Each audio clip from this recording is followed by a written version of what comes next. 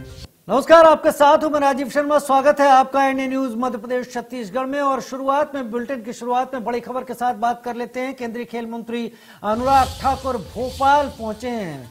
केंद्रीय मंत्री अनुराग ठाकुर का भव्य स्वागत भोपाल में किया गया। टीटी नगर स्टेडियम में खिलाड़ियों से चर्चा भी करेंगे। भोपाल में आयोजित कार्यक्रम में होंगे शामिल। केंद्रीय मंत्री अनुराग ठाकुर का भव्य स्वागत भोपाल में किया गया है। केंद्रीय खेल मंत्री अनुराग ठाकुर भोपाल पहुँचे।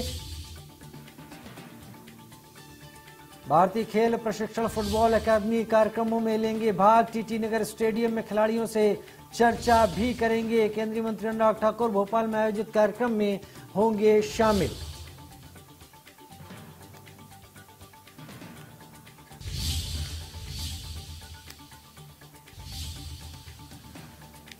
केंद्रीय खेल मंत्री अनुराग ठाकुर भोपाल पहुँचे हैं मध्य प्रदेश की राजधानी भोपाल। केंद्रीय मंत्री अनुराग ठाकुर का भव्य स्वागत इस दौरान किया गया।